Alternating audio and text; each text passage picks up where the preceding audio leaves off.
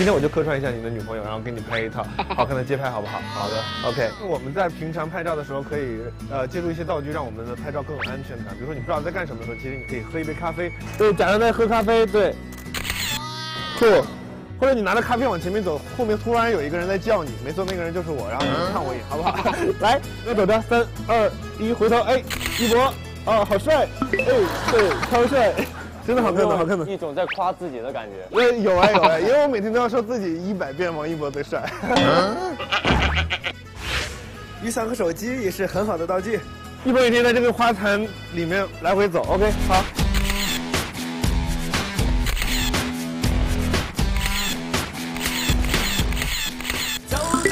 你就这样来回走就可以了，多了回来一点。一起来坐上瑞士的小火车吧。我们在拍照的过程中，光线是非常的不均匀的，所以我们要用相机里面的 A 档，这样它就可以自动来测光来拍照。我们先来试一下，有一个假装拿下它来的趋势，要慢一点，慢一点，然后快速连拍，好看，帅。你可以趴在上面撩我，好吧？有了。太好看了，在火车上不止可以坐着，我们还可以站着看。你跟马特洪洪的特写，好看。后面是马特洪峰，太好看了，随便一站就是画报。马特洪峰站到了，那么瑞士的雪山如何拍出大气 feel？我们来到了一个非常辽阔的雪山的山顶上，我们先在这里拍一个大的景别。是什么都看不到，是要投钱的吗？嗯，对，就就假装假装能看到，假装能看到，好不好？那你站直了就扶在它上面看那里边，好，哦好看。你坐在上面，呃，侧着身坐在上面。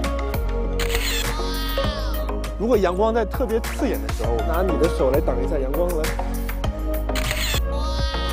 还有就是我们在拍特写的时候，有一个非常好的一招，就是我们可以借助我泡泡糖。好，差不多够大了。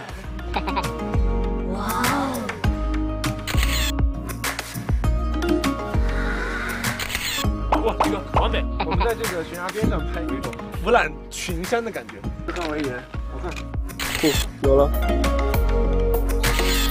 随便一摆就是画报，特别好看。最后一张，有了。当然是在瑞士的雪地里撒点野啦！我们现在呢来到了采尔马特非常有名的滑雪场，今天呢就在这里教大家，无论你会不会滑雪，都可以拍出的一张又酷又有趣又好看的滑雪照。首先呢，我们现在需要让一博摆一个特别好看的固定的一个姿势在这里。第二点，我们就要找我们的好朋友来帮忙，有请我们的好朋友，来，你们来两个人就可以了。你们就在这个地方，冲着我的镜头就这样这样这样这样，走。这个时候我们要用到相机的快速连拍。哇，这样就行。好朋友们出来玩，一定要给好朋友拍两张比较有意思的合影。你们俩就做一样的姿势，朝同样的一个方向走，超级美。跑，你们俩在一起跳一下，来，三二一，跳。我们现在再拍一张比较搞怪一点的，先来一个抓脖子的，来，三二一，走。来，再来一个冲击波的。好，可以，好看。背影，你俩一起回头来，好看哦。因为这里的阳光特别的好，所以我们可以让我们的好朋友帮我们喷点水，产生一个比较雾化的一个效果。三、二、一，喷！哇，喷我一脸！好了，可以了。好，我们的教程就到此结束了。如果你没有学会的话，记得找一个像我一样的男朋友。